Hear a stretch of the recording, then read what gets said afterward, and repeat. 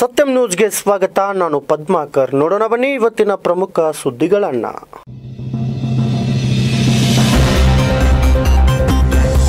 ರಾಯಬಾಗ್ ತಾಲೂಕಿನ ಮುಗಳಖೋಡ್ ಪಟ್ಟಣದ ward number ಆರರ ನಿವಾಸಿಗಳ ನಿತ್ಯದ ನರಕಯಾತನೆ ಸಂಬಂಧಿಸಿದ ಇಲಾಖೆಯ ಅಧಿಕಾರಿಗಳ ದಿವ್ಯ ನಿರ್ಲಕ್ಷ್ಯಕ್ಕೆ ಹಿಡಿದ ಕೈಗನ್ನಡಿ. ರಾಮದುರ್ಗ ಪಟ್ಟಣದ ಹರಳೆಯ ಸರ್ಕಲ್ನಲ್ಲಿರುವ ಆರಿ ಬೆಂಚಿ ಪೆಟ್ರೋಲ್ ಬಂಕ್ನಲ್ಲಿ ಹಾಕಲಾದ ವೇದಿಕೆಯಲ್ಲಿ ಡಾಕ್ಟರ್ ಬಿಆರ್ ಅಂಬೇಡ್ಕರ್ ಭಾವಚಿತ್ರಕ್ಕೆ ಪೂಜೆ ಸಲ್ಲಿಕೆ. ಎಲ್ಇಡಿ ಸ್ಕ್ರೀನ್ ಮೇಲೆ ಎರಡು ದಿನಗಳ ಕಾಲ ಮಹಾನಾಯಕ ಧಾರಾವಾಹಿ ಪ್ರದರ್ಶನಕ್ಕೆ ಚಾಲನೆ. ಬೆಳಗಾವಿಯ ಕೆಎಲ್ಇ ಸಂಸ್ಥೆಯ ಪ್ರಧಾನ ಕಚೇರಿಗೆ ಭೇಟಿ ನೀಡಿದ ಸಚಿವ ಬಿಸಿ ಪಾಟೀಲ್. ಸಂಸ್ಥೆಯ ಪರವಾಗಿ ಸಚಿವರನ್ನ ಸತ್ಕರಿಸಿದ ಕೆಎಲ್ಇ ಸಂಸ್ಥೆಯ ಕಾರ್ಯಾಧ್ಯಕ್ಷ ಡಾಕ್ಟರ್ ಪ್ರಭಾಕರ್ ಕೋರೆ. ಚಿಕ್ಕೋಡಿ ತಾಲೂಕಿನ ಯಡೂರಿನಲ್ಲಿ ವಿಪತ್ತು ನಿರ್ವಹಣಾ ಸ್ವಯಂ ಸೇವಕರಿಗೆ ವಿಶೇಷ ತರಬೇತಿ ಶಿಬಿರ. ದೀಪ ಬೆಳಗಿಸಿ ಶಿಬಿರಕ್ಕೆ ಚಾಲನೆ ನೀಡಿದ ಶ್ರೀಶೈಲ ಜಗದ್ಗುರುಗಳು. ಬೆಳಗಾವಿಯ ಕೆಎಲ್ಇ ಸಂಸ್ಥೆಯ ಪ್ರಧಾನ ಕಚೇರಿಗೆ ಭೇಟಿ ನೀಡಿದಂತಹ ಕೃಷಿ ಸಚಿವರಾದ ಬಿಸಿ ಪಾಟೀಲ್ ಅವರು ಕೃಷಿ ವಿಜ್ಞಾನ ಕೇಂದ್ರವನ್ನು ಸ್ಥಾಪಿಸುವ ಮೂಲಕ ಈ ಭಾಗದ ರೈತರ ಹಿತಾಸಕ್ತಿಗೆ ಸ್ಪಂದಿಸಿದೆ ಎಂದು ಮೆಚ್ಚುಗೆ ವ್ಯಕ್ತಪಡಿಸಿದ್ದಾರೆ. ಬೆಳಗಾವಿಯ ಕೆಎಲ್ಇ ಸಂಸ್ಥೆಯ ಪ್ರಧಾನ ಕಚೇರಿಗೆ ಸಚಿವ ಬಿಸಿ ಪಾಟೀಲ್ ರವರು ಭೇಟಿ ನೀಡಿದ್ರು. ಈ ಸಂದರ್ಭದಲ್ಲಿ ಕೆಎಲ್ಇ ಸಂಸ್ಥೆಯ ಕಾರ್ಯಾಧ್ಯಕ್ಷರಾದ ಡಾಕ್ಟರ್ ಪ್ರಭಾಕರ್ ಕೋರೆ ಸಚಿವರನ್ನ ಸಂಸ್ಥೆಯ ಪರವಾಗಿ ಸತ್ಕರಿಸಿದ್ರು. ಈ ವೇಳೆ ಮಾತನಾಡಿದ ಸಚಿವರು, ಕೆಎಲ್ಇ ಸಂಸ್ಥೆಯು ಇಂದು ಶಿಕ್ಷಣ ಮಾತ್ರವಲ್ಲದೆ ಹಲವಾರು ಕ್ಷೇತ್ರಗಳಿಗೆ ವಿಸ್ತರಿಸಿದೆ. ಡಾಕ್ಟರ್ ಪ್ರಭಾಕರ್ ಕೋರೆ ಹಾಗೂ ಆಡಳಿತ ಮಂಡಳಿಯ ದೂರದೃಷ್ಟಿಯ ಫಲವಾಗಿ ಕೆಎಲ್ಇ ಕೃಷಿ ವಿಜ್ಞಾನ ಕೇಂದ್ರವನ್ನು ಸ್ಥಾಪಿಸುವ ಮೂಲಕ ಈ ಭಾಗದ ರೈತರ ಹಿತಾಸಕ್ತಿಗಳಿಗೆ ಸ್ಪಂದಿಸಿದೆ ಎಂದು ಮೆಚ್ಚುಗೆ ವ್ಯಕ್ತಪಡಿಸಿದ್ರು. ನಂತರ ಡಾಕ್ಟರ್ ಪ್ರಭಾಕರ್ ಕೋರೆ ಅವರು ಮಾತನಾಡಿ, ಕೆಎಲ್ಗಿ ಸಂಸ್ಥೆಯ ಮತ್ತಿಕೊಪ್ಪದ ಕೃಷಿ ವಿಜ್ಞಾನ ಕೇಂದ್ರವು ಅಲ್ಪಾವಧಿಯಲ್ಲಿಯೇ ಜಿಲ್ಲೆಯ ಸಾವಿರಾರು ರೈತರಿಗೆ ಅನುಕೂಲತೆಗಳನ್ನ ಕಲ್ಪಿಸಿಕೊಟ್ಟಿದೆ. ಸುಧಾರಿತ ಬೆಳೆ, ಬೀಜೋತ್ಪನ್ನ, ಮಾರಾಟ ವ್ಯವಸ್ಥೆ, ವೈಜ್ಞಾನಿಕ ಕೃಷಿ ಪದ್ಧತಿಯ ಕುರಿತು ರೈತರಿಗೆ ನಿರಂತರವಾಗಿ ತರಬೇತಿಯನ್ನ ನೀಡುತ್ತಿದೆ ಎಂದು ಮನವರಿಕೆ ಮಾಡಿಕೊಟ್ರು. ನಂತರ ಉತ್ತರ ಕರ್ನಾಟಕದ ರೈತರ ಹಲವಾರು ಜ್ವಲಂತ ಸಮಸ್ಯೆಗಳ ಮೇಲೆ ಬೆಳಕು ಚೆಲ್ಲಿದ ಡಾಕ್ಟರ್ ಪ್ರಭಾಕರ್ ಕೋರೆ ಅವರು, ಸರ್ಕಾರವು ರೈತರ ಭಾವನೆಗಳಿಗೆ ಸ್ಪಂದಿಸಿ ಅವರ ಸಮಸ್ಯೆಗಳನ್ನ ಪರಿಹರಿಸಬೇಕೆಂದು ಸಚಿವರಿಗೆ ಮನವಿ ಮಾಡಿದ್ರು. ಈ ಸಂದರ್ಭದಲ್ಲಿ ಸರ್ಕಾರದ ಮುಖ್ಯ ಸಚೇತಕ ಹಾಗೂ ಕೆಎಲ್ಇ ನಿರ್ದೇಶಕ ಮಹಂತೇಶ್ ಕವಟಗಿಮಠ್ ಬಸವರಾಜ ಆರ್ ಪಾಟೀಲ್, ರಾಮದುರ್ಗದ ಮಾಜಿ ಶಾಸಕ ಅಶೋಕ್ ಪಟ್ಟಣ, ಕೃಷಿ ವಿಜ್ಞಾನ ಕೇಂದ್ರದ ಮುಖ್ಯಸ್ಥರಾದ ಶ್ರೀದೇವಿ ಅಂಗಡಿ ಹಾಗೂ ಮುಂತಾದವರು ಉಪಸ್ಥಿತರಿದ್ದರು. ಬೆಳಗಾವಿ ಜಿಲ್ಲೆಯ ರಾಯಬಾಗ ತಾಲೂಕಿನ ಮುಗಳಕೋಡ ಪಟ್ಟಣದ ವಾರ್ಡ್ ಸಂಖ್ಯೆ ಆರರಲ್ಲಿ ಪುರಸಭೆ ಕೊಳವೆ ಬಾವಿ ಕೆಟ್ಟು ಹೋಗಿದ್ದು ಎರಡು ತಿಂಗಳು ಕಳೆದು ಹೋದರೂ ಸಹ ಇಲ್ಲಿಯ ಪುರಸಭೆ ಮುಖ್ಯ ಅಧಿಕಾರಿಗಳಾಗಲಿ, ಜನನಾಯಕರಾಗಲಿ ಇತ್ತ ಕಡೆ ಗಮನ ಹರಿಸದ ಕಾರಣ ಇಲ್ಲಿಯ ನಿವಾಸಿಗಳು ನಿತ್ಯ ನರಕ ಯಾತನೆ ಅನುಭವಿಸುವಂತಾಗಿದೆ. ನಿತ್ಯ ಕುಡಿಯುವ ನೀರಿಗಾಗಿ ಪರದಾಟ, ಒಂದು ದಿನ ಬಿಟ್ಟು ಒಂದು ದಿನ ಬರುವ ನಳದ ನೀರಿಗಾಗಿ ಕಾಲೋನಿಯ ಮಹಿಳೆಯರ ಜಟಾಪಟಿ ಚಕಳ ಮಳೆ ಬಂದ್ರೆ ಸಾಕು, ಮನೆಗೆ ಅತಿಥಿಯ ಹಾಗೆ ಬರೋ ಚರಂಡಿ ನೀರು. ಇಲ್ಲಿನ ನಿವಾಸಿಗಳು ನಿತ್ಯ ಅನುಭವಿಸುತ್ತಿರುವ ನರಕ ಯಾತನೆ ಅಷ್ಟಕ್ಕೂ ಈ ಪರಿಸ್ಥಿತಿಯನ್ನ ಅನುಭವಿಸುತ್ತಿರುವವರು ಯಾರು ಅಂತೀರಾ? ಇದು ರಾಯಬಾಗ್ ತಾಲೂಕಿನ ಮುಗಳಖೋಡ್ ಪಟ್ಟಣದ ವಾರ್ಡ್ ಸಂಖ್ಯೆ ಆರರ ನಿವಾಸಿಗಳು ನಿತ್ಯ ಅನುಭವಿಸುತ್ತಿರುವ ನರಕ ಯಾತನೆ ಇದು. ಎಸ್. ಪುರಸಭೆಯ ಕೊಳವೆ ಬಾವಿ ಕೆಟ್ಟು ಹೋಗಿ ಸುಮಾರು ಎರಡು ತಿಂಗಳುಗಳೇ ಕಳೆದು ಹೋಗಿವೆ. ಆದರೆ ಇಲ್ಲಿನ ಪುರಸಭೆ ಮುಖ್ಯಾಧಿಕಾರಿಗಳಾಗಲಿ ಜನ ನಾಯಕರಾಗಲಿ ಇತ್ತ ಕಡೆ ತಿರುಗೂ ಕೂಡ ನೋಡಿಲ್ಲ ಎನ್ನುವುದು ಸ್ಥಳೀಯರ ಗಂಭೀರ ಆರೋಪವಾಗಿದೆ. ಏನಾಗೈತಿ ಇಲ್ಲಿ? ಹೇಳಿಲ್ಲ ನೀವು? ಹಾ? ಎರಡ್ ಸಲ ಎರಡ್ ಮೂರ್ ಸಲ ಹೇಳಿದ್ರಿ ಅವ್ರು. ಏನಂತಾರು? ಅವ್ರ ಹಾಕ್ಸಿ ಹಾಕಿ ಹಾಕ್ಸಿ ಹೇಳ್ರಿ. ಹಾ. ಅವ ಹುಕ್ಕ ಮ್ಯಾಗ ಹಾಕ್ಯಾರಿ ವಯರ್ಕ. ಹಾ. ಅದ್ ಒಂದ್ ಒಂದ್ ಮ್ಯಾಗ ಇರ್ತೈತ್ರಿ ಒಂದ್ ತಳ ಬಿಡ್ತೈತ್ರಿ ನಮ್ ಸಣ್ಣ ಸಣ್ಣ ಮಕ್ಳು ಅಡ್ಯಾಡ್ತಾವ್ರಿ. ಆಮೇಲೆ ನೀರಿನ ನೀರಿಗೆ ಏನ್ ಮಾಡ್ತೀರಿ ಈಗ? ನೀರಿಗ ಒಂದ್ ದಿನ ಬಿಟ್ಟು ಒಂದ್ ದಿನ ಬರ್ತಾವ್ರಿ ಚಾವ್ಯಾಕ. ಹಾ. ಅಲ್ಲೇ ತುಂಬ್ಕೊತ್ರಿ ಒಂದ್ ನಾಲ್ಕು ಅಲ್ಲಿ ಎಲ್ಲಾರ್ಗಿ ಸಾಲ್ತಾವ ನೀರ? ಸಾಲಂಗಿಲ್ರಿ ಅಲ್ಲಿ ನೀರು. ಹಾ. ಜವಾರಿ ಕಡ್ದ ತುಂಬ್ಕೊಳಕತ್ರಿ ನಮಗ್ ನೀರ್ ಸಾಕಾಗಲ್ಲಾಗ್ಯಾವ್ರಿ ಅವರು ಅಂತೂ ಕೇರ್ ಮಾಡುವ ಕೇರ್ ತಗೋರಿ ಹಾ ಹಾ. ಮತ್ತೆ ಅದು ನೀರಿನ ಟ್ಯಾಂಕಿ? ಅದು ಅಲ್ಲಿ ನೀರು ಹೋಗುದಿಲ್ಲ? ಬಂದೈತಿ.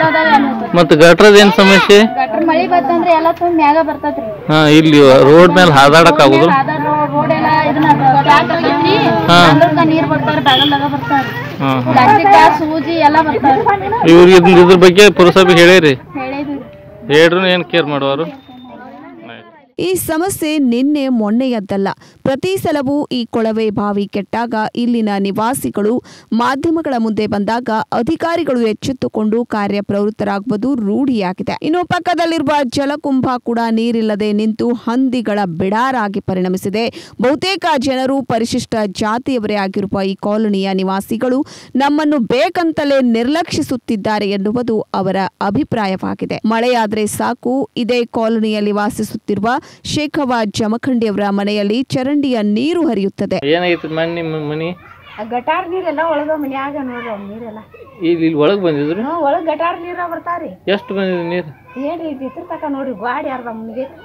ಅದ್- ಅದ್ ಪ್ರತಿ ಸಲ ಮಳೆ ಆದಾಗ ಮಳೆ ಆದಾಗ ಗಟಾರ್ ನೀರೆಲ್ಲ ಒಳಗರಿ ಅವು. ಗಟ್ರ ತುಂಬಿ ಈ ಕಡೆ ಒಳಗೆ ಬರ್ತಾವ. ಹಾ ಒಳಗ್ ಬರ್ತಾವ.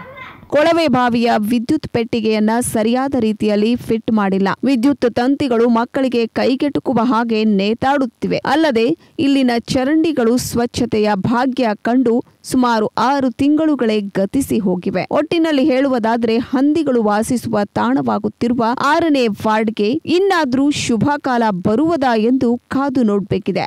ಗದಗ ಜಿಲ್ಲೆಯ ಲಕ್ಷ್ಮೇಶ್ವರ ಪಟ್ಟಣದಲ್ಲಿ ರಫಿಕ್ ಬಾಗೇವಾಡಿ ಎಂಬುವರ ಮನೆಯಲ್ಲಿ ಸಿಲಿಂಡರ್ ಸ್ಫೋಟಗೊಂಡಿತ್ತು.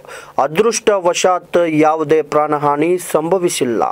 ಗದಗ ಜಿಲ್ಲೆಯ ಲಕ್ಷ್ಮೇಶ್ವರ ಪಟ್ಟಣದಲ್ಲಿ ರಫೀಕ್ ಬಾಗೇವಾಡಿ ಎಂಬುವವರ ಮನೆಯಲ್ಲಿ ಅಡುಗೆ ಅನಿಲ ಸೋರಿಕೆಯಾಗಿ ಗ್ಯಾಸ್ ಸಿಲಿಂಡರ್ ಸ್ಫೋಟಗೊಂಡಿದೆ ಅದೃಷ್ಟವಶಾತ್ ಯಾವುದೇ ಪ್ರಾಣಹಾನಿ ಸಂಭವಿಸಿಲ್ಲ. ಸಿಲಿಂಡರ್ ಸ್ಫೋಟಗೊಂಡಿದ್ದರಿಂದ ಮನೆಯಲ್ಲಿದ್ದ ವಸ್ತುಗಳು ಹಾನಿಗೊಳಗಾಗಿವೆ. ಅಗ್ನಿಶಾಮಕ ದಳದ ಸಿಬ್ಬಂದಿಗಳು ಮತ್ತು ಸ್ಥಳೀಯರು ಬೆಂಕಿ ನಂದಿಸುವಲ್ಲಿ ಯಶಸ್ವಿಯಾಗಿದ್ದಾರೆ. ಅದೇ ರೀತಿ ವಾರ್ಡ್ ನಂಬರ್ ಇಪ್ಪತ್ತೆರಡು ಇಂದಿರಾನಗರದಲ್ಲೂ ಕೂಡ ದಾವಲ್ ಸಾಬ್ ಬಾಗೋಡಿ ಅವರ ಮನೆಯ ಒಳಗಡೆ ಸಿಲಿಂಡರ್ ಸ್ಫೋಟಗೊಂಡಿದ್ದು ಯಾವುದೇ ರೀತಿಯ ಹಾನಿಯಾಗಿಲ್ಲ ಎಂದು ತಿಳಿದು ಬಂದಿದೆ ಗದಗ ಜಿಲ್ಲೆಯ ಲಕ್ಷ್ಮೀಶ್ವರ ಪೊಲೀಸ್ ಠಾಣೆಯ ವ್ಯಾಪ್ತಿಯಲ್ಲಿ ಘಟನೆ ನಡೆದಿದೆ ಬೆಳಗಾವಿ ಜಿಲ್ಲೆ ಸವದತ್ತಿ ತಾಲೂಕಿನ ಮುರುಗೋಡದಲ್ಲಿ ಪಶು ಆರೋಗ್ಯ ನೂತನ ಕಟ್ಟಡ ನಿರ್ಮಾಣಕ್ಕೆ ಬೈಲಹೊಂಗಲ ಶಾಸಕರಾದಂತಹ ಮಹಂತೇಶ್ ಕೌಜಲ್ಗಿ ಅವರು ಗುದ್ದಲಿ ಪೂಜೆ ನೆರವೇರಿಸಿದ್ರು. ಬೆಳಗಾವಿ ಜಿಲ್ಲೆಯ ಮುರಗೋಡ್ನಲ್ಲಿ ಪಶು ಆರೋಗ್ಯ ಕೇಂದ್ರ ಹೊಸ ಕಟ್ಟಡ ನಿರ್ಮಿಸಲು ಪೂಜೆ ಮಾಡಿದ್ರು ಬೈಲಹೊಂಗಲ್ ಶಾಸಕರಾದ ಮಹಂತೇಶ್ ಕೌಸಲ್ಕೆ ಅವರು ಈ ವೇಳೆ ಅವರು ಭೂಮಿ ಪೂಜೆ ನೆರವೇರಿಸಿದ್ರು. ಈ ಸಂದರ್ಭದಲ್ಲಿ ಪ್ರಮೋದ್ ಮೂಡಲ್ಗಿ, ಪಶು ಸಹಾಯಕ ನಿರ್ದೇಶಕರು ಸವದತ್ತಿ, ಉಪ ತಹಶೀಲ್ದಾರ್ ಗೀತಾ ದೊಡ್ಡವಾಡ್ ತಾಲೂಕಾ ಪಂಚಾಯತ್ ಸದಸ್ಯ ಸುರೇಶ್ ಮ್ಯಾಕಲ್ ಊರಿನ ಪ್ರಮುಖರಾದ ವಿಜಯ್ ಸಾನಿಕೋಪ್ ಹಾಗೂ ಬಸವರಾಜ್ ಕೌಸಲ್ಗಿ, ಈರಣ್ಣ ಯರ್ಜರ್ವಿ, ಮುದುಕಪ್ಪ ಬೆಳಗಾವಿ, ಮಹೇಶ್ ಶಿವನ್ಗೌಡ್ ಪಾಟೀಲ್ ಹಾಗೂ ಗ್ರಾಮದ ಮುಖಂಡರು ಸೇರಿ ಗುತ್ತಿಗೆದಾರರಿಗೆ ಉತ್ತಮ ಗುಣಮಟ್ಟದಿಂದ ಕಟ್ಟಡವನ್ನ ನಿರ್ಮಿಸುವಂತೆ ಮತ್ತು ಅತಿ ಶೀಘ್ರದಲ್ಲಿ ಕಟ್ಟಡವನ್ನ ಮುಗಿಸಬೇಕೆಂದು ಊರಿನ ಪ್ರಮುಖರು ಮತ್ತು ಶಾಸಕರು ಹೇಳಿದ್ರು. ಈ ಭಾಗದ ಪಶು ಆರೋಗ್ಯ ಕೇಂದ್ರವು ಬೇರೆ ಎಲ್ಲೆಡೆ ಮಾದರಿಯಾಗಲಿ ಎಂದು ಹೇಳಿದ್ರು. ಬೆಳಗಾವಿ ಜಿಲ್ಲೆ ರಾಯಬಾಗ ತಾಲೂಕಿನ ಪಂಚಾಯತ್ ಭವನದಲ್ಲಿ ಜಿಲ್ಲಾ ಪಂಚಾಯತ್ ಸಾಮಾನ್ಯ ಸಭೆಯ ಪೂರ್ವಭಾವಿ ಸಭೆಯನ್ನ ಕರೆಯಲಾಗಿತ್ತು. ರಾಯಬಾಗ್ನ ತಾಲೂಕು ಪಂಚಾಯತ್ ಭವನದಲ್ಲಿ ಜಿಲ್ಲಾ ಪಂಚಾಯತ್ ಸಾಮಾನ್ಯ ಸಭೆಯ ಪೂರ್ವಭಾವಿ ಸಭೆಯನ್ನ ಕರೆಯಲಾಗಿತ್ತು. ಸಭೆಯ ಅಧ್ಯಕ್ಷತೆಯನ್ನ ತಾಲೂಕಾ ಪಂಚಾಯತ್ ಅಧ್ಯಕ್ಷೆ ಶ್ರೀಮತಿ ಸುಜಾತಾ ಪಾಟೀಲ್ ವಹಿಸಿದ್ದರು. ಅತಿಥಿಗಳಾಗಿ ತಾಲೂಕು ಪಂಚಾಯತ್ ಕಾರ್ಯನಿರ್ವಾಹಕ ಅಧಿಕಾರಿ ವಿ ಪ್ರಕಾಶ್, ಜಿಲ್ಲಾ ಪಂಚಾಯತ್ ಸದಸ್ಯ ನಿಂಗಪ್ಪ ಪಕಾಂಡಿ ಮತ್ತು ಜಯಶ್ರೀ ಮೋಹಿತೆ ಹಾಗೂ ತಾಲೂಕು ಪಂಚಾಯತ್ ಉಪಾಧ್ಯಕ್ಷೆ ಭಾಗವಹಿಸಿದ್ದರು. ಬೆಂಡವಾಡ ಜಿಲ್ಲಾ ಪಂಚಾಯತ್ ಸದಸ್ಯರಾದ ನಿಂಗಪ್ಪ ಪಕಾಂಡಿ ಅವರು ಕೃಷಿ ಇಲಾಖೆಯ ಅಧಿಕಾರಿಗಳನ್ನ ತರಾಟೆಗೆ ತೆಗೆದುಕೊಂಡರು. ಬೆಳೆ ಸಮೀಕ್ಷೆ ಮತ್ತು ರಸಗೊಬ್ಬರ ಅವ್ಯವಹಾರ ಹಾಗೂ ಗೋವಿನ ಜೋಳಕ್ಕೆ ಸೈನಿಕ ಹುಳು ದಿನದಿಂದ ದಿನಕ್ಕೆ ಹಬ್ಬುತ್ತಿದ್ದು, ಕೃಷಿ ಅಧಿಕಾರಿಗಳು ಇದರ ಬಗ್ಗೆ ಯಾವುದೇ ರೀತಿಯ ಹತೋಟಿ ಕ್ರಮಗಳನ್ನು ಕೈಗೊಳ್ಳದ ಕಾರಣ ಅಧಿಕಾರಿಗಳ ಮೇಲೆ ಹರಿಹಾಯ್ದರು. ಅಲ್ಲದೆ ಹೆಸ್ಕಾಂನ ಸೌಭಾಗ್ಯ ಜ್ಯೋತಿ ಯೋಜನೆ ಕೂಡ ಸಂಪೂರ್ಣವಾಗಿ ಅನುಷ್ಠಾನವಾಗಿಲ್ಲ. ಇದರ ಬಗ್ಗೆ ಏಕೆ ಕ್ರಮ ಕೈಗೊಂಡಿಲ್ಲ ಎಂದು ಹೆಸ್ಕಾಂನ ಸಹಾಯಕ ಕಾರ್ಯನಿರ್ವಾಹಕ ಅಧಿಕಾರಿಯ ಮೇಲೆ ಗುಡುಗಿದ್ರು. ರೈಲ್ವೆ ಗ್ರಾಮದಲ್ಲಿ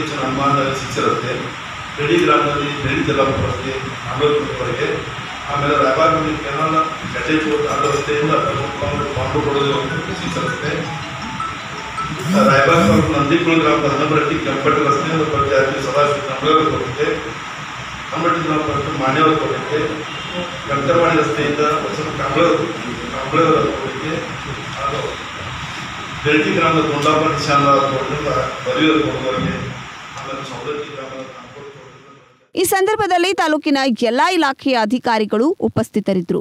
ಬೆಳಗಾವಿ ಜಿಲ್ಲೆಯ ರಾಮದುರ್ಗ ಪಟ್ಟಣದ ಹರಳಯ್ಯ ಸರ್ಕಲ್ನಲ್ಲಿ ಬಾಲಾಜಿ ಬಾಯ್ಸ್ ಗ್ರೂಪ್ ವತಿಯಿಂದ ಹಾಗೂ ಶಿವಶರಣ ಹರಳಯ್ಯ ಸಮಾಜ ಹಾಗೂ ದಲಿತ ಸಮಾಜದವರಿಂದ ಜಿ ಕನ್ನಡದಲ್ಲಿ ಮೂಡಿಬರುತ್ತಿರುವ ಡಾಕ್ಟರ್ ಬಿ ಆರ್ ಅಂಬೇಡ್ಕರ್ ಅವರ ಜೀವನ ಆಧಾರಿತ ಮಹಾನಾಯಕ ಧಾರಾವಾಹಿಯನ್ನು ಎಲ್ಇಡಿ ಪರದೆ ಮೇಲೆ ಎರಡು ದಿನಗಳ ಕಾಲ ಪಟ್ಟಣದ ಅರಿಬೆಂಚಿ ಪೆಟ್ರೋಲ್ ಬಂಕ್ನಲ್ಲಿ ಸಾರ್ವಜನಿಕ ಪ್ರದರ್ಶನಕ್ಕೆ ಚಾಲನೆ ನೀಡಲಾಯಿತು. ಕನ್ನಡ ಧಾರಾವಾಹಿ ಇತಿಹಾಸದಲ್ಲಿ ಮಹಾನಾಯಕ ಧಾರಾವಾಹಿ ಒಂದು ಮೈಲುಗಲ್ಲು. ಡಾಕ್ಟರ್ ಬಿಆರ್ ಅಂಬೇಡ್ಕರ್ ಜೀವನ ಚರಿತ್ರೆಯ ಈ ಮಹಾಕೃತಿಯನ್ನ ಜನತೆ ಬಹಳಷ್ಟು ಇಷ್ಟಪಟ್ಟಿದ್ದಾರೆ. ಡಾಕ್ಟರ್ ಬಿಆರ್ ಅಂಬೇಡ್ಕರ್ ರವರ ಧಾರಾವಾಹಿಯನ್ನು ಪ್ರಸಾರ ಮಾಡಿದ್ದಕ್ಕೆ ಜಿ ಕನ್ನಡ ವಾಹಿನಿ ಮತ್ತು ರಾಘವೇಂದ್ರ ಹುಣಸೂರರನ್ನು ಅನೇಕ ಹಳ್ಳಿಯ ಜನ ಪೋಸ್ಟರ್ ಹಾಕಿ ಅಭಿನಂದನೆ ಸಲ್ಲಿಸಿದ್ದಾರೆ. ಅದೇ ರೀತಿಯಾಗಿ ರಾಮದುರ್ಗ ಪಟ್ಟಣದ ಹರಳಯ್ಯ ಸರ್ಕಲ್ನಲ್ಲಿ ಬಾಲಾಜಿ ಬಾಯ್ಸ್ ಗ್ರೂಪ್ ರಾಮದುರ್ಗ ಇವರು ಏರ್ಪಡಿಸಿದ್ದ ಸಂವಿಧಾನ ಶಿಲ್ಪಿ ಡಾಕ್ಟರ್ ಬಿಆರ್ ಅಂಬೇಡ್ಕರ್ ಅವರ ಜೀವನವನ್ನು ಆಧರಿಸಿದ ಜಿ ಕನ್ನಡ ವಾಹಿನಿಯ ಧಾರಾವಾಹಿ ಮಹಾನಾಯಕ ಡಾಕ್ಟರ್ ಬಿಆರ್ ಅಂಬೇಡ್ಕರ್ ಚಿತ್ರಕ್ಕೆ ಶಿವಶರಣ, ಹರಳಯ್ಯ ಸಮಾಜ ಹಾಗೂ ದಲಿತ ಸಮಾಜ, ರಾಮದುರ್ಗ ಇವರ ನೇತೃತ್ವದಲ್ಲಿ ಹರಳಯ್ಯ ಸರ್ಕಲ್ನ ಆರಿಬೆಂಚಿ ಪೆಟ್ರೋಲ್ ಬಂಕ್ನಲ್ಲಿ ಹಾಕಲಾದ ವೇದಿಕೆಯಲ್ಲಿ ಡಾಕ್ಟರ್ ಬಿಆರ್ ಅಂಬೇಡ್ಕರ್ ರವರ ಭಾವಚಿತ್ರಕ್ಕೆ ಪೂಜೆ ಸಲ್ಲಿಸುವುದರ ಮೂಲಕ ಧಾರಾವಾಹಿಯನ್ನ ಎಲ್ಇಡಿ ಪರದೆಯ ಮೇಲೆ ಎರಡು ದಿನಗಳ ಕಾಲ ಸಾರ್ವಜನಿಕ ಪ್ರದರ್ಶನಕ್ಕೆ ಚಾಲನೆ ನೀಡಿದರು.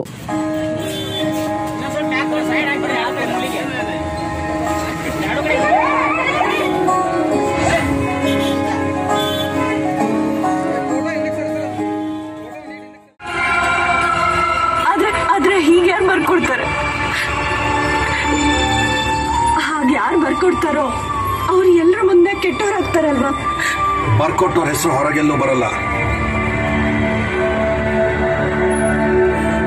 ನೀವಿನ್ ಹೊರಡಬಹುದು ಸರಿ ಸರ್ ನಾವು ಬರ್ಸ್ಕೊಂಬರ್ತೀವಿ. ಡಿಎಸ್ಎಸ್ ಮಾಜಿ ಸಂಚಾಲಕ ಹಾಗೂ ದಲಿತ ಮುಖಂಡರಾದ ಭರಂರೆಡ್ಡಿ ಆರ್ ದೊಡ್ಮನಿ ಅವರು ಮಾತನಾಡಿ, ಡಾಕ್ಟರ್ ಬಿಆರ್ ಅಂಬೇಡ್ಕರ್ ಅವರು ಬಡತನವನ್ನ ಮೆಟ್ಟಿ ನಿಂತು ವಿದ್ಯಾಭ್ಯಾಸ ಮಾಡದೆ ಹೋಗಿದ್ರೆ ಅಖಂಡ ಭಾರತದಲ್ಲಿ ಮರೆಯಲಾಗದ ಚೇತನವೊಂದು ಸೃಷ್ಟಿಯಾಗುತ್ತಿರಲಿಲ್ಲ. ಈ ಧಾರಾವಾಹಿಯು ಎಲ್ಲರಿಗೂ ಸ್ಫೂರ್ತಿದಾಯಕವಾಗಿದೆ. ಸತ್ಯಕ್ಕೆ ಬಹಳಷ್ಟು ಶಕ್ತಿ ಇದೆ. ರಾಘವೇಂದ್ರ ಹುಣಸೂರು ಅವರಿಗೆ ಜೀವ ಬೆದರಿಕೆ ಹಾಕಿದ್ದಾರೆ. ರಾಘವೇಂದ್ರ ಹುಣಸೂರು ಅವರ ಜೊತೆಗೆ ನಮ್ಮ ರಾಮದುರ್ಗ ತಾಲೂಕಿನ ಎಲ್ಲಾ ದಲಿತ ಜನಾಂಗದವರು, ಎಲ್ಲ ಕುಲ ಬಾಂಧವರು ಅವರಿಗೆ ಬೆಂಬಲವಾಗಿದ್ದೇವೆ ಎಂದು ಹೇಳಿದರು. ಡಾಕ್ಟರ್ ಬಿಆರ್ ಅಂಬೇಡ್ಕರ್ ರವರ ಜೀವನ ಆಧಾರಿತ ಧಾರಾವಾಹಿ ಸರ್ವರಿಗೂ ಸ್ಫೂರ್ತಿ ತುಂಬಲಿದೆ. ಅದರಲ್ಲಿಯೂ ವಿದ್ಯಾರ್ಥಿಗಳಿಗೆ ಡಾಕ್ಟರ್ ಬಿಆರ್ ಅಂಬೇಡ್ಕರ್ ಅವರ ಜೀವನ ಚರಿತ್ರೆ, ಆತ್ಮವಿಶ್ವಾಸವನ್ನ ಹೆಚ್ಚಿಸಲಿದೆ ಎಂದು ಮಾತನಾಡಿದರು. ಅಂಬೇಡ್ಕರ್ ಇರುವಂತ ಸ್ಥೂಲವಾದಂತ ಚಿತ್ರಗಳನ್ನ ಜನರಿಗೆ ತಿಳಿಸ್ಬೇಕನ್ನುವಂತ ಒಂದು ಕಾರ್ಯ ಮಾಡಿದ್ದಾರೆ. ಅವ್ರಿಗೆ ಈಗಾಗಲೇ ಸಾಕಷ್ಟು ಜೀವ ಬೆದರಿಕೆಗಳ ಕರೆಗಳನ್ನು ಬಂದಿದ್ದಾವೆ. ಆದರೆ ಸತ್ಯ ಹೇಳೋದು ಯಾವತ್ತೂ ಅದಕ್ಕೆ ಶಕ್ತಿ ಬಹಳ ಅಂತ ಇಡೀ ನಮ್ಮ ಎಲ್ಲ ಪುರಾತನ ಮಹಾತ್ಮರೆಲ್ಲ ಹೇಳಿದ್ದಾರೆ. ಸತ್ಯ ಯಾವುದೇ ಇದೆ, ಅದಕ್ಕೆ ಶಕ್ತಿ ಬಹಳ ಅಂತೇಳಿ. ಹುಣಸೂರವರು ಸಹಿತ ಇಡೀ ನಮ್ಮ ರಾಮದುರ್ಗದ ದಲಿತ ಸಂಘರ್ಷ ಸಮಿತಿ ಪರವಾಗಿ ಹಾಗೂ ಸಮಸ್ತ ದಲಿತರ ಪರವಾಗಿ ಹರಳೆಯ ಸಮಾಜ, ಮಾದರ ಚೆನ್ನೈ ಸಮಾಜ, ಡೋರ್ ಕಕ್ಕಯ್ಯ ಸಮಾಜ ಎಲ್ಲರೂ ನಾವು ಒಟ್ಟಿಗೆ ಈ ಒಂದು ರಾಘವೇಂದ್ರ ಹುಣಸೂರ್ ಅವರ ಬೆಂಬಲಾರ್ಥವಾಗಿ ಅವ್ರ ಜೀವ ಬೆದರಿಕೆ ಏನು ಹಾಕಿದಾರ ಸನಾತನವಾದಿಗಳು ಏನಿದಾರ ಅಥವಾ ಧರ್ಮ ನಿಷ್ಠರು ಏನಿದಾರ ಈ ಏನು ಪುರೋಹಿತ ಶಾಹಿಗಳ ವರ್ಗ ಏನಿದೆನೋ ಅದನ್ನೆಲ್ಲ ನಾವು ಮೆಟ್ಟು ನಿಂತು ಸತ್ಯವನ್ನು ಜನಕ್ಕೆ ಬಿತ್ತರಿಸಲಿಕ್ಕೆ ಅನುಕೂಲ ಮಾಡಿಕೊಡುವಂಥ ರಾಘವೇಂದ್ರ ಹುಣಸೂರ್ ಅವರಿಗೆ ನಾವು ಬೆಂಬಲವಾಗಿ ಇದು ಪ್ರತಿ ಗ್ರಾಮದಲ್ಲಿಯೂ ಸಹಿತ ಈ ಒಂದು ಎಪಿಸೋಡ್ ಏನಿದೆ ಇದು ಒಂದು ಆ, ಆ, ಬಾಲಾಜಿ ಬಾಯ್ಸ್ ಗ್ರೂಪ್ನವರು ಈ ಕಾರ್ಯಕ್ರಮಕ್ಕೆ ಧನ್ಯವಾದಗಳನ್ನು ತಿಳಿಸಿದ್ರು. ಈ ಸಂದರ್ಭದಲ್ಲಿ ಕರ್ನಾಟಕ ದಲಿತ ಸಂಘರ್ಷ ಸಮಿತಿ ಅಂಬೇಡ್ಕರ್ ಧ್ವನಿ, ಚಂದ್ರಕಾಂತ್ ಎಸ್ ಕಾತ್ರೋಳಿ ಬನ ರಾಮದುರ್ಗ ತಾಲೂಕು ಸಮಿತಿಯ ಅಧ್ಯಕ್ಷರಾದ ಬಸವರಾಜ್ ಮಾದರ್ ಉಪಾಧ್ಯಕ್ಷರಾದ ರಾಯಣ್ಣ ಮಾದರ್, ಗೌರವ ಅಧ್ಯಕ್ಷರಾದ ಮುತ್ತಪ್ಪ ಮಾದರ್ ಇವರಿಂದ ಡಿಎಸ್ಎಸ್ ಮಾಜಿ ಸಂಚಾಲಕ ದಲಿತ ಮುಖಂಡರಾದ ಭರಂರೆಡ್ಡಿ ದೊಡ್ಮನಿ ಇವರಿಗೆ ಸನ್ಮಾನ ಮಾಡಲಾಯಿತು. ಇದೇ ರೀತಿಯಾಗಿ ಈ ಕಾರ್ಯಕ್ರಮಕ್ಕೆ ಸಹಾಯ ಮಾಡಿದ ರವಿ ಪಾಟೀಲ್, ಸಂಜಯ್ ಆರಿಬೆಂಚಿ ಅವರಿಗೂ ಕೂಡ ಗೌರವ ಸನ್ಮಾನ ಮಾಡಲಾಯಿತು. ಈ ಸಂದರ್ಭದಲ್ಲಿ ಡಿಎಸ್ಎಸ್ ಮಾಜಿ ಸಂಚಾಲಕ ಭರಂರೆಡ್ಡಿ ದೊಡ್ಮನಿ, ರವಿ ಪಾಟೀಲ್, ಸಂಜಯ್ ಆರಿಬೆಂಚಿ, ಹಿರಿಯ ಪತ್ರಕರ್ತರಾದ ಚನ್ನಪ್ಪ ಮಾದರ್ ಇತರರು ಈ ಕಾರ್ಯಕ್ರಮದಲ್ಲಿ ಭಾಗಿಯಾಗಿದ್ರು.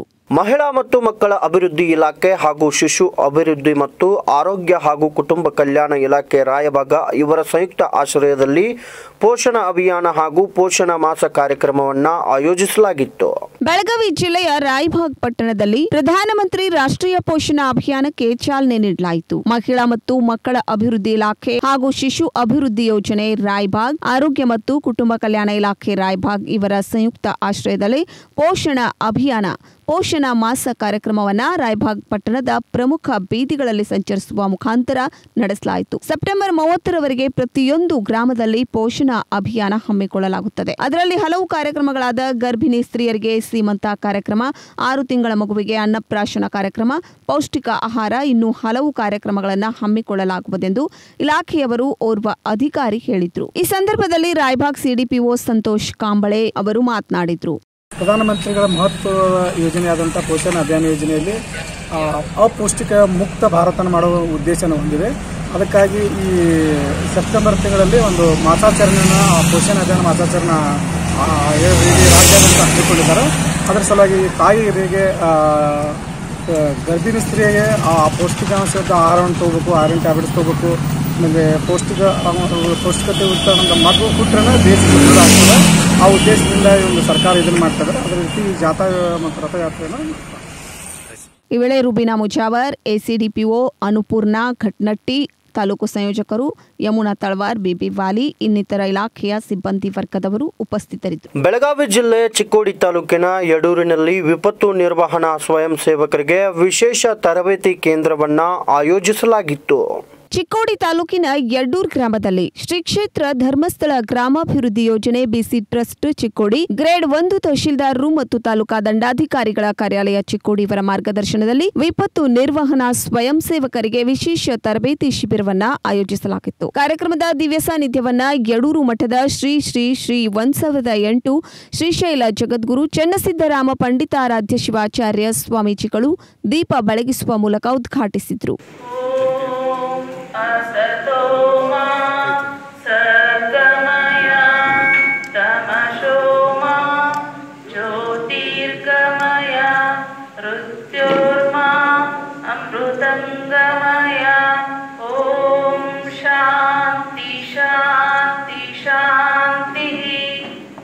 ಕಾರ್ಯಕ್ರಮದ ಅಧ್ಯಕ್ಷತೆಯನ್ನು ಜನಜಾಗೃತಿ ವೇದಿಕೆಯ ಜಿಲ್ಲಾಧ್ಯಕ್ಷರಾದ ಎಸ್ ಟಿ ಮುನ್ನೋಳಿ ವಹಿಸಿದ್ದರು. ವೇದಿಕೆಯ ಮೇಲೆ ಜನಜಾಗೃತಿ ವೇದಿಕೆಯ ಪ್ರಾದೇಶಿಕ ನಿರ್ದೇಶಕರಾದ ವಿವೇಶ್ ವಿನ್ಸೆಂಟ್, ಪಾಯಸ್, ದುಗ್ಗೇಗೌಡ, ಅಜಯ್ ಸೂರ್ಯವಂಶಿ ಹಾಗೂ ಇನ್ನಿತರರು ಉಪಸ್ಥಿತರಿದ್ದರು. ಕಾರ್ಯಕ್ರಮವನ್ನು ಶ್ರೀ ಕೃಷ್ಣ ಟಿ ಅವರು ಸ್ವಾಗತಿಸಿದ್ರು. ರಾಘವೇಂದ್ರ ಎಸ್ ನಿರೂಪಿಸಿ ವಂದಿಸಿದ್ರು. ಸಮ್ಮಿಶ್ರ ಸರ್ಕಾರದಲ್ಲಿ ಕಾಗವಾಡ ಮತಕ್ಷೇತ್ರದಲ್ಲಿ ಕೇವಲ ಮೂರು ತಿಂಗಳಲ್ಲಿ ಕ್ಷೇತ್ರ ಅಭಿವೃದ್ಧಿಗೆ ಒಂದು ನೂರ ಇಪ್ಪತ್ತು ಕೋಟಿ ವಿಶೇಷ ಅನುದಾನ ಬಿಡುಗಡೆಯಾಗಿತ್ತು. ಕ್ಷೇತ್ರದ ಅನುದಾನವನ್ನು ಶ್ರೀಮಂತ ಪಾಟೀಲ್ ಅವರು ತಮ್ಮ ಸ್ವ ಇಚ್ಛಾಶಕ್ತಿಗಾಗಿ ಕ್ಷೇತ್ರದ ಅಭಿವೃದ್ಧಿ ಅನುದಾನವನ್ನು ಬಲಿಪಶು ಮಾಡಿದ್ದಾರೆ ಎಂದು ಕರ್ನಾಟಕ ಯುವ ಪ್ರದೇಶ ಕಾಂಗ್ರೆಸ್ ಸಮಿತಿಯ ಸಂಚಾಲಕರಾದ ರಫೀಕ್ ಜಮಾದಾರ್ ಅವರು ಆರೋಪಿಸಿದ್ದಾರೆ. ಚಿಕ್ಕೋಡಿ ಶೈಕ್ಷಣಿಕ ಜಿಲ್ಲೆಯ ಕಾಗವಾಡ ಮತಕ್ಷೇತ್ರಕ್ಕಾಗಿ ಸಮ್ಮಿಶ್ರ ಸರ್ಕಾರದ ಅವಧಿಯಲ್ಲಿ ಕೇವಲ ಮೂರು ತಿಂಗಳಲ್ಲಿ ಕ್ಷೇತ್ರದ ಅಭಿವೃದ್ಧಿಗೆ ಸುಮಾರು ನೂರ ಇಪ್ಪತ್ತು ಕೋಟಿ ವಿಶೇಷ ಅನುದಾನ ಬಿಡುಗಡೆಯಾಗಿತ್ತು. ಈ ಅನುದಾನದ ಸದ್ಬಳಕೆಯಾಗಿಲ್ಲ. ಕ್ಷೇತ್ರದ ಅನುದಾನವನ್ನ ಶ್ರೀಮಂತ ಪಾಟೀಲ್ರು ತಮ್ಮ ಸ್ವ ಇಚ್ಛಾಶಕ್ತಿಗಾಗಿ ಕ್ಷೇತ್ರದ ಅಭಿವೃದ್ಧಿ ಮತ್ತು ಅನುದಾನವನ್ನ ಬಲಿಪಶು ಮಾಡಿದ್ದಾರೆ. ಕುಮಾರಸ್ವಾಮಿ ಅವರು ಮುಖ್ಯಮಂತ್ರಿ ಇದ್ದಾಗ ನೂರ ಇಪ್ಪತ್ತು ಕೋಟಿ ಅನುದಾನ ತ- ನಿಮ್ಗೆ ನೀಡ್ರಿ ಅಂತಾರೆ ಆ ಕೆಲಸ ಎಲ್ಲಿ ಹೋಯ್ತು ಅಂತ ಅವರು ಆರೋಪ ಮಾಡ್ತಾರೆ ಅದೇ, ಅಲ್ಲಿ ಮತ್ತು ಇವತ್ತು ತಕ್ಕ ಎರಡು ಮೂರು ಕೋಟಿ ಕೆಲಸ ಮಾಡಿದ್ದೀವಿ ನಾವು. ಎಲ್ಲ ಕೂಡಿಸಿ ಅದಾವೆ ಅದು ಮೊದಲಿಂದ ಇರಲಿ ಇವತ್ತಿರಲಿ ಸುಮಾರು ಕಾಗವಾಡ ಕ್ಷೇತ್ರದಲ್ಲಿ ಇನ್ನೂರು ಕೋಟಿ ರೂಪಾಯಿ ತಗೊಂಡು ಬಂದಿದ್ದೀವಿ, ಎಲ್ಲ ಕೆಲಸ ಆಗಿದ್ದವು, ಕೆಲವು ಚಾಲು ಅದಾವು. ಸ್ಕೂಲ್ ಬಿಲ್ಡಿಂಗ್, ಹದಿನೇಳು ಕೋಟಿ ರೂಪಾಯಿ ಸ್ಕೂಲ್ ಬಿಲ್ಡಿಂಗ್ ತಂದ್ವಿ. ಎಲ್ಲ ಎಷ್ಟೋ ಕಡೆ ಸ್ಕೂಲ್ ಬಿಲ್ಡಿಂಗ್ ಎಲ್ಲ ಹಾಳಾಗಿದ್ದು ಸೋರ್ತಿದ್ದು ಅಲ್ಲಿ. ಸುಮಾರು ಐದೂವರೆ ಕೋಟಿ ರೂಪಾಯಿ ಎಲ್ಲ ರಿಪೇರಿ ಮಾಡಿದ್ವಿ. ಎಲ್ಲ ಸ್ಕೂಲ್ ಬಿಲ್ಡಿಂಗ್ ರಿಪೇರಿ ಮಾಡಿದ್ವಿ. ಈಗ ಅದು ಸೂರ್ಯ ಎಲ್ಲ ಮತ್ತು ನಿಪ್ಪಾಣಿ ರಾಜ್ಯ ಹೆದ್ದಾರಿ ಕೂಡ ಇದಾಗಿರ್ತದೆ ಕೊಟ್ಟಲ್ಗಿ ನಿಪ್ಪಾಣಿ ಹೆದ್ದಾರಿ. ಅದು ಇನ್ನೂ ಪ್ರಾರಂಭ ಆಗಿಲ್ಲ. ಅವಾಗ ಅನುದಾನ ಬಿಡುಗಡೆ ಆಗಿತ್ತು. ಇಲ್ಲ. ನೀವು ಇಲ್ಲ, ಇಲ್ಲ ಇಲ್ಲ ಇಲ್ಲ. ಯಾರು ಹೇಳಿಲ್ಲ ನಾನು ಇಲ್ಲಿ ಹೇಳಿಲ್ಲ. ಅಲ್ಲಿ ಎಸ್ ಸಿ ಡಿ ಪಿಯಲ್ಲಿ ಮೂರು ಸುಮಾರು ಮೂರು ಕೋಟಿ ರೂಪಾಯಿ ಐನಾಪುಟ್ಟು ಕಾತ್ರಾಳ ಅತಿ ಕೆಟ್ಟಿತ್ತು. ಅದು ಮೂರು ಕೋಟಿ ರೂಪಾಯಿ ಈಗಾಗಲೇ ಕೆಲಸ ಆಗಿದೆ, ಅತಿ ಚಂದ ರೋಡ್ ಆಗೈತಿ. ಮತ್ತು ಐನಾಪುರ ಹೋಗ್ಯಾರು ಕೂಡ ಈ ನೀವು ನೋಡಿರ್ಬೇಕು, ಹದಿನೈದು ದಿವಸ ಅದ್ರ ಮ್ಯಾಗ ಇಪ್ಪತ್ತು ಫೂಟ್ ನೀರಿದ್ರು ಕೂಡ ನಾವು ಈ ಕ್ವಾಲಿಟಿ ಮಾಡಿದೀವಿ, ಒಂದು ಹಳ್ಳ ಸುಧಾ ಎಲ್ಲಿಗೆ ಹೋಯಿತು ಆ ವಿಶೇಷ ಅನುದಾನ? ಹೇಳಿ ಸ್ವಾಮಿ, ಹೇಳಿ. ಎಂದು ರಫೀಕ್ ಜಮಾದಾರ್ ಕರ್ನಾಟಕ ಯುವ ಪ್ರದೇಶ ಕಾಂಗ್ರೆಸ್ ಸಮಿತಿ ಸಂಚಾಲಕರು, ಸಾಮಾಜಿಕ ಜಾಲತಾಣ ಕಾಗವಾಡ್ ಮತಕ್ಷೇತ್ರ ಇವರ ನೇರ ಆರೋಪವಾಗಿದೆ. ಸಮ್ಮಿಶ್ರ ಸರ್ಕಾರದ ಅವಧಿಯಲ್ಲಿ ಕಾಗವಾಡ ವಿಧಾನಸಭಾ ಮತಕ್ಷೇತ್ರಕ್ಕೆ ಕೇವಲ ಮೂರೇ ತಿಂಗಳಲ್ಲಿ ಕುಮಾರಸ್ವಾಮಿ ಅವರು ಆಗಿನ ಮುಖ್ಯಮಂತ್ರಿಗಳು ಒಂದೂರ ಇಪ್ಪತ್ತು ಕೋಟಿ ಅನುದಾನವನ್ನು ಕಾಗವಾಡ ವಿಧಾನ ಮತ್, ವಿಧಾನಸಭಾ ಮತಕ್ಷೇತ್ರಕ್ಕೆ ಕೊಟ್ಟಿದ್ದರು. ಅದರಲ್ಲಿ ನಿಪ್ಪಾನಿ ಹಾಗೂ ಕೊಟ್ಟಲ್ಗಿ ರಾಜ್ಯ ಹೆದ್ದಾರಿಗೆ ಐವತ್ತೆಂಟು ಕೋಟಿ ರೂಪಾಯಿ ಅನುದಾನವನ್ನು ಘೋಷಣೆ ಮಾಡಿದರು ಅದರ ಪ್ರಕಾರ ನೋಡುವುದಾದರೆ ಐನಾಪುರದಿಂದ ಶಿನಾಳ್ವರೆಗೆ ಐನಾಪುರದಿಂದ ಅಥನಿವರೆಗೆ ರೋಡ್ ಕೆಲಸ ಇನ್ನೂ ಇನ್ನೂ ಕೂಡ ಪ್ರಾರಂಭವಾಗಿಲ್ಲ. ಉಗಾರದಿಂದ ಉಗಾರ್ವರೆಗೆ ಉಗಾರ್ ಬುದುರ್ಗದಿಂದ ಉಗಾರ್ ಖುರ್ದ್ವರೆಗೆ ಐದು ಕೋಟಿ ಮಂಜೂರಾದರೂ ಹಣ ಇನ್ನೂವರೆಗೆ ಕೆಲಸ ಆರಂಭವಾಗಿಲ್ಲ. ಆ ಒಂದೂರ ಇಪ್ಪತ್ತು ಕೋಟಿ ರೂಪಾಯಿ ವಿಶೇಷ ಅನುದಾನ ಎಲ್ಲಿಗೆ ಹೋಯಿತು? ತಮ್ಮ ಸ್ವಹಿತಾಸಕ್ತಿಗಾಗಿ ಆಗಿನ ಶಾಸಕರು ಶ್ರೀಮಂತ್ ಪಾಟೀಲರು ತಮ್ಮ ಸ್ವಹಿತಾಸಕ್ತಿಗಾಗಿ ಕ್ಷೇತ್ರದ ಅನುದಾನವನ್ನು ಬಲಿಪಶು ಮಾಡಿದ್ದಾರೆ. ಆ ಅನುದಾನವನ್ನು ಸರಿಯಾಗಿ ಬಳಕೆ ಮಾಡ, ಮಾಡಿಕೊಂಡಿಲ್ಲ. ಅನುದಾನವನ್ನು ಸರಿಯಾಗಿ ಬಳಕೆ ಮಾಡಿಕೊಂಡ, ಕೊಳ್ಳದ ಮೊದಲ ಶಾಸಕರು ಯಾರು ಅಂತ ಇದ್ದರೆ ಅದು ಶ್ರೀಮಂತ್ ಪಾಟೀಲ್ ಅವರು. ತಮ್ಮ ಸ್ವಹಿತಾಸಕ್ತಿಗಾಗಿ ಪಕ್ಷವನ್ನು ಬಲಿ ಕೊಟ್ಟು ಮುಂಬೈಯಲ್ಲಿ ಹೋಗಿಬಿದ್ದರು ಅವರೇನು ಕಾಂಗ್ರೆಸ್ಗೆ ರಾಜೀನಾಮೆ ಕೊಟ್ಟಿಲ್ಲ, ಕಾಂಗ್ರೆಸ್ ಅವರು ಉಚ್ಚಾಟನೆ ಮಾಡಿದೆ. ಆದರೆ ಈ ಅನುದಾನಗಳು ಎಲ್ಲಿಗೆ ಹೋದವು? ಉಗಾರದಿಂದ ಉಗಾರವರೆಗೆ ಇನ್ನೂ ಕೂಡ ಕೆಲಸ ಪ್ರಾರಂಭವಾಗಿಲ್ಲ. ಪ್ರವಾಹ ಸಂದರ್ಭದಲ್ಲಿ ಸಾಕಷ್ಟು ಜನರು ತೊಂದರೆಗೀಡಾಗುತ್ತಾರೆ. ರೋಡ್ ಕ್ಲೋಸ್ ಆಗುತ್ತೆ. ಇದಕ್ಕೆ ಪ್ರತಿಕ್ರಿಯೆ ನೀಡಿದ ಲಕ್ಷ್ಮಣ್ ರಾವ್ ಚಿಂಗಳೆ, ಚಿಕ್ಕೋಡಿ ಲೋಕಸಭಾ ಕ್ಷೇತ್ರದ ಕಾಂಗ್ರೆಸ್ ಪಕ್ಷದ ಅಧ್ಯಕ್ಷರು, ಸಮ್ಮಿಶ್ರ ಸರ್ಕಾರದ ಅವಧಿಯಲ್ಲಿ ಮಂಜೂರು ಮಾಡಿಸಿಕೊಂಡ ವಿಶೇಷ ಅನುದಾನವನ್ನ ಯಾವ ಯಾವ ಕೆಲಸಗಳಿಗೆ ಬಳಕೆ ಮಾಡಿಕೊಂಡಿದ್ದಾರೆ ಎಂಬುದನ್ನು ಸ್ಪಷ್ಟಪಡಿಸಬೇಕು. ಕ್ಷೇತ್ರದಲ್ಲಿ ಅಭಿವೃದ್ಧಿ ಕೆಲಸಗಳು ಆಗಿಲ್ಲ, ಯಾವುದೇ ತರಹದ ಡೆವಲಪ್ಮೆಂಟ್ ಕೂಡ ಆಗಿಲ್ಲ. ಇವರು ರಾಜ್ಯದ ಸಚಿವರಾಗಿ ರಾಜ್ಯದಲ್ಲಿಯೂ ಸುತ್ತಾಡಿ ಕೆಲಸ ಮಾಡಬೇಕಾಗಿರುವವರು. ಜಿಲ್ಲೆಯಲ್ಲಿಯೂ ಸಹಿತ ಕೆಲಸ ಮಾಡುತ್ತಿಲ್ಲ ಎಂದು ಕಾಗವಾಡ ಕ್ಷೇತ್ರಕ್ಕೆ ಮಾತ್ರ ಇವರು ಸೀಮಿತವಾಗಿದ್ದಾರೆ ಎಂದರು. ಕರ್ನಾಟಕ ಘನ ಸರ್ಕಾರದ ಮಂತ್ರಿಗಳಾದಂಥ ಮತ್ತು ಕಾಗವಾಡಿನ ಶಾಸಕರಾದಂಥ ಶ್ರೀಮಂತ್ ಪಾಟೀಲ್ ಅವರು ಈ ಹಿಂದೆ ಕೆಲವು ದಿನಗಳಲ್ಲಿ ಪತ್ರಿಕಾಗೋಷ್ಠಿ ಮಾಡಿ ಕರ್ನಾಟಕ ಸಮ್ಮಿಶ್ರ ಸರ್ಕಾರದ ಅವಧಿಯಲ್ಲಿ ನನಗೆ ನೂರ ಇಪ್ಪತ್ತು ಕೋಟಿ ವಿಶೇಷ ಅನುದಾನವನ್ನು ಕಲ್ಪಿಸಲಾಗಿತ್ತು. ಅವಾಗ ಮಂಜೂರು ಮಾಡಿದರು. ಕುಮಾರಸ್ವಾಮಿಯವರು ಮುಖ್ಯಮಂತ್ರಿ ಇದ್ದಾಗ ಮತ್ತು ಡಾಕ್ಟರ್ ಜಿ ಪರಮೇಶ್ವರ್ ಅವರು ಉಪಮುಖ್ಯಮಂತ್ರಿ ಇದ್ದಾಗ ಈ ನೂರ ಇಪ್ಪತ್ತು ಕೋಟಿ ಅನುದಾನವನ್ನು ಬಿಡುಗಡೆ ಮಾಡಿದ್ರು ಅಂತ ಹೇಳಿ ಅದರಲ್ಲಿ ಯಾವ ಯಾವ ಕಾಮಗಾರಿಗಳನ್ನ ಕೊಳ್ಳ ಮಾಡಿಕೊಳ್ಬೇಕು ಅನ್ನೋ ದೃಷ್ಟಿಯಲ್ಲಿ ಕೂಡ ಸವಿಸ್ತರವಾದಂಥ ಮಾಹಿತಿಯನ್ನು ಶ್ರೀಮಂತ್ ಪಟೇಲ್ ಅವರು ಕೊಟ್ಟಿದ್ದರು ಇದು ವಿಶೇಷ ಅನುದಾನ ಇದ್ದರೂ ಕೂಡ ಆ ಅನುದಾನ ಅಡಿಯಲ್ಲಿ ಕೇವಲ ಘೋಷಣೆಯಾಗಿ ಅನುದಾನ ಮಂಜೂರು ಮಾಡಿಕೊಂಡಿದ್ದಾರೆ. ಆದರೆ ಅವರು ಯಾವ ಕಾರಣಕ್ಕೂ ಕೂಡ ಡೆವಲಪ್ಮೆಂಟ್ಗಳನ್ನ ಮಾತ್ರ ಕೆಲಸ, ಅಭಿವೃದ್ಧಿ ಕೆಲಸಗಳನ್ನು ಆಗಿಲ್ಲ. ಆ ಅಭಿವೃದ್ಧಿ ಕೆಲಸಗಳು ಆಗಿಲ್ಲ ಅನ್ನೋ ದೃಷ್ಟಿಯಲ್ಲಿ ಕಾಂಗ್ರೆಸ್ ಮತ್ತು ಜೆ ಡಿ ಎಸ್ ಸಮ್ಮಿಶ್ರ ಸರ್ಕಾರದಲ್ಲಿ ಮಂಜೂರಾದಂಥ ಒಂದು ಅನುದಾನವನ್ನು ಅಭಿವೃದ್ಧಿ ಕೆಲಸಕ್ಕೆ ಉಪಯೋಗ ಮಾಡದೇನೆ. ಹಾಗೆ ಇಟ್ಟಿದಾರ ಅಥವಾ ಏನು ಮಾಡಿದ್ರೆ ಇದು ಅರ್ಥ ಆಗಲಿಲ್ಲ. ಅದಕ್ಕೆ ನಮ್ಮ ಕಾಂಗ್ರೆಸ್ ಕಾರ್ಯಕರ್ತರ ಬೇಡಿಕೆ ಇದೆ. ಆ ನೂರ ಇಪ್ಪತ್ತು ಕೋಟಿ ಏನು ಅನುದಾನ ಬಂದಿದೆ, ಅದನ್ನು ಏನು ಮಾಡಿದಾರೆ ಅನ್ನೋದು ಅವರು ಸರಿಯಾಗಿ ಸ್ಪಷ್ಟಪಡಿಸಬೇಕು. ಎಲ್ಲೆಲ್ಲಿಗೆ ಅನುದಾನವನ್ನು ಬಳಕೆ ಮಾಡಿದ್ದಾರೆ ಅನ್ನೋದನ್ನು ಕೂಡ ಜನರಿಗೆ ತಿಳಿಸಿದಂತ ಆಗಬೇಕು. ರಾಜ್ಯದ ಮಂತ್ರಿಗಳಾಗಿದ್ದರೂ ಕೂಡ ಒಂದು ವಿಶಿಷ್ಟವಾದ ಕಾಗವಾಡ ಕ್ಷೇತ್ರಕ್ಕೆ ಸೀಮಿತವಾದಂಥ ಮಂತ್ರಿಗಳಾಗಿದ್ದಾರೆ. ಜಿಲ್ಲೆಯಲ್ಲಿ ಕೂಡ ಎಲ್ಲಿಯೂ ಓಡಾಟ ಕಾಣಂಗಿಲ್ಲ. ಮಂತ್ರಿಗಳಾದ ನಂತರ ಇಡೀ ಜಿಲ್ಲಾ, ಇಡೀ ರಾಜ್ಯ ಸುತ್ತ ಓಡಾಡಿ ಕಾರ್ಯನಿರ್ವಹಿಸಿಬಿಟ್ಟು ಕ್ಷೇತ್ರದ್ದು ಕೂಡ ಸರಿಯಾದಂಥ ಕಾರ್ಯ ಆಗ್ತಾ ಇಲ್ಲ. ನಿಷ್ಕ್ರಿಯ ಮತ್ತು ಅವರೆಲ್ಲ ಕಾರ್ಯಚಟುವಟಿಕೆಗಳಿಗೆ ವೈಫಲ್ಯವನ್ನು ಕಂಡಿದ್ದಾರೆ. ಅದಕ್ಕೆ ಅವರು ಅಭಿವೃದ್ಧಿ ಕೆಲಸಗಳನ್ನು ಸ್ಪಷ್ಟಪಡಿಸಬೇಕು. ಕಾಂಗ್ರೆಸ್ ಮತ್ತು ದಳ ಸಮ್ಮಿಶ್ರ ಸರ್ಕಾರದ ಅವಧಿಯಲ್ಲಿ ಮಂಜೂರಾದಂಥ ವಿಶೇಷ ಅನುದಾನವನ್ನು ಎದಕ್ಕಾಗಿ ಬಯಸಿದ್ದಾರೆ ಅನ್ನೋದನ್ನು ಸ್ಪಷ್ಟಪಡಿಸಬೇಕನ್ನು ಅವರಲ್ಲಿ ಈ ಮುಖಾಂತರ ನಾನು ಕೇಳಿ ಇದಕ್ಕೆ ಪ್ರತಿಕ್ರಿಯೆ ನೀಡಿದ ಮೋಹನ್ ಶಹಾ, ಮಾಜಿ ಶಾಸಕರು ಕಾಗವಾಡ ಮತಕ್ಷೇತ್ರ. ಇವರು ನನ್ನ ರಾಜಕೀಯ ನಲವತ್ತೈದು ವರ್ಷಗಳ ಜೀವನದಲ್ಲಿ ಇಂತಹ ರಾಜಕೀಯವನ್ನ ಕಂಡಿಲ್ಲ. ಕ್ಷೇತ್ರದಲ್ಲಿ ಯಾವುದೇ ರೀತಿಯ ಅಭಿವೃದ್ಧಿ ಕೆಲಸಗಳು ಆಗುತ್ತಿಲ್ಲ. ರೈತರಿಗೆ ಬರಬೇಕಾದ ಕಬ್ಬಿನ ಬಾಕಿ ಬಿಲ್ಗಳು ಬರಬೇಕು. ಅವರ ಸಮಸ್ಯೆಗಳಿಗೆ ಸ್ಪಂದಿಸಬೇಕು. ಪ್ರವಾಹ ಪೀಡಿತರ ಸಮಸ್ಯೆಗಳಿಗೆ ಸ್ಪಂದಿಸಬೇಕು. ಹಾಗೂ ರಸ್ತೆಗಳ ಅಭಿವೃದ್ಧಿ ಕೆಲಸಗಳಾಗಬೇಕು. ಮತದಾರರಿಂದ ಗೌರವ ದೊರೆಯುವ ಹಾಗೆ ಈ ನಿಟ್ಟಿನಲ್ಲಿ ಕೆಲಸಗಳಾಗಬೇಕು. ಇದಕ್ಕೆ ಹೊರತಾಗಿ ಮತದಾರರ ಮನಸ್ಸನ್ನ ಗೆಲ್ಲುವಂತಾಗಬೇಕು ಎಂದರು. ನಂದೇನು ಎರಡನೇ ಅಭಿವೃದ್ಧಿ ಮಾಡೋದಕ್ಕಿಂತ ಮೊದಲು ಇದನ್ನೆಲ್ಲ ಮೊದಲು ಮಾಡಿ. ಮುಖ್ಯವಾಗಿ. ಮುಖ್ಯವಾಗಿ. ರೈತರ ರೈತರ ಬೆಳೆ ಹಾನಿ. ಮನೆಗಳಲ್ಲಿ ಆಗಿದೆ ಎಲ್ಲ ಮೊದಲು ಒಂದು ಲಿಸ್ಟ್ ಮಾಡಿ ಇದ್ದದ್ದು ಅದನ್ನು ಮೊದಲು ಅನುದಾನವನ್ನು ಇದರಲ್ಲಿ ಬಂದ ಲೋಪದೋಷಗಳು ಬಹಳ ಆಗಿದೆ. ಏನ್ ಸೀನಲ್ಲಿ ಬರಬೇಕು ಏನಲ್ಲಿ ಬರಬೇಕಾದ್ರು ಸೀನಲ್ಲಿ ಬಂದಿವೆ ಕ್ಯಾಟಗರಿ. ಖರೆ ಕ್ಯಾಟಗರಿ ಒಳಗ ಇದು ಬಹಳಷ್ಟು ದೊಡ್ಡದ ಒಂದು ಸ ಇಲ್ಲಿ ಸಮಸ್ಯೆ ಆಗಿದೆ. ಏನಂದ್ರೆ ಯಾರಿಗೆ ಮನೆ ನೆಲಸಮ ನೆಲಸಮಾಗಿ ಮನೆಯೆಲ್ಲ ಇದಾಗಿದೆ ಅವರಿಗೆ ಹಣ ಬಂದಿಲ್ಲ. ನಿಜವಾದ ಫಲಾನುಭವಿಗಳಿಗೆ ಹಣದ ಕೊರತೆ. ವಂಚಿತರಾಗಿದ್ದಾರೆ. ವಂಚಿತರಾಗಿದ್ದಾರೆ. ಅದ್ರ ಬಗ್ಗೆ ತಹಶೀಲ್ದಾರ್ ಅಥಣಿಯೊಳಗ ನಮ್ಮ ಕಾಗವಾಡದೊಳಗ ತಹಶೀಲ್ದಾರ್ ಮುಂದೆ ಧರಣಿನೂ ಮಾಡ್ಯಾರ. ಜನರು ಹೋಗಿ ಅಲ್ಲಿ ಮನೆ ಪತ್ರ ಕೊಟ್ಟು ಬಡವರೆಲ್ಲ ಹೋಗಿ. ಆದರೆ ಇದಕ್ಕೆ ಇದು ಅನುದಾನದ ಕ- ಸೂಕ್ತವಾಗಿ ಬಿಡುಗಡೆ ಆಗಿಲ್ಲ. ಸೊ ಅದನ್ನು ತಿದ್ದಬೇಕು ಇವರು. ತಿದ್ದಬೇಕು ತಿದ್ದಬೇಕು. ತಮ್ಮ ಪ್ರಕಾರ ರೀಸರ್ವೆ ಆಗಬೇಕು ರೀಸರ್ವೆ ಆಗಬೇಕು. ಮತ್ತು ಹೋದ ವರ್ಷದ ಬೆಳೆ ಹಾನಿ ಬೆಳೆ ಹಾನಿಯನ್ನು ಎಲ್ಲರಿಗೂ ಮುಟ್ಟಿಲ್ಲ. ಎಪ್ಪತ್ತು ಟಕ್ಕೆ ಜನರಿಗೆ ಮುಟ್ಟಿಲ್ಲ ಮೂವತ್ತು ಟಕ್ಕೆ ಜನರಿಗೆ ಅಷ್ಟೇ ಮುಟ್ಟಿಲ್ಲ.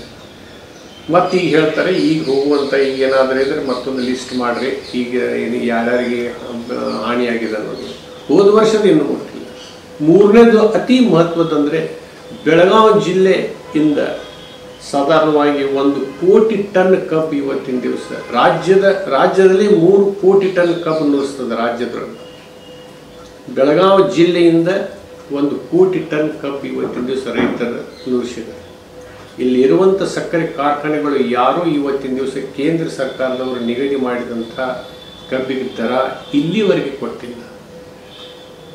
ಅದನ್ನು ಒತ್ತಾಯ ಮಾಡಿ ರೈತರಿಗೆ ಅದನ್ನು ಕೊಡಿಸ್ಬೇಕು. ಸರ್ಕಾರದವರು. ಜಿಲ್ಲಾಧಿಕಾರಿಗಳು ಮೇಲಿನ ಮೇಲೆ ಅದರ ಬಗ್ಗೆ ಮೀಟಿಂಗ್ ಕರೆದು ಹೇಳಿದ್ದಾರೆ. ಆದರೆ ಒಂದೆರಡು ಕಾರ್ಖಾನೆಗಳನ್ನು ಜಿಲ್ಲೆದೊಳಗೆ ಬಿಟ್ಟರೆ ಯಾವ ಕಾರ್ಖಾನೆಗಳು ಇವತ್ತಿನ ದಿವಸ ರೈತರಿಗೆ ಹೋದ ವರ್ಷ ಹೋದಂಥ ಕಬ್ಬಿಗೆ ಇನ್ನೂ ತನಕ ದರ ಕೊಟ್ಟಿಲ್ಲ. ರೈತರದು ಯಾವ ಪ್ರಕಾರ ಕಷ್ಟದೊಳಗಿದ್ದಾರೆ? ಸಹಕರಿಸಬೇಕು ಅನ್ನೋದು. ಸಹಕರಿಸಬೇಕು. ಎಲ್ಲ ರಾಜಕೀಯ ಮುಖಂಡರ ಕಾರ್ಖಾನೆಗಳಿವೆ ಎಲ್ಲ ಇರುವುದರಿಂದ ಅವರಿಗೆ ಕೇಳುವಷ್ಟು ಶಕ್ತಿ ನಮ್ಮಲ್ಲಿಲ್ಲ ಇಲ್ಲ.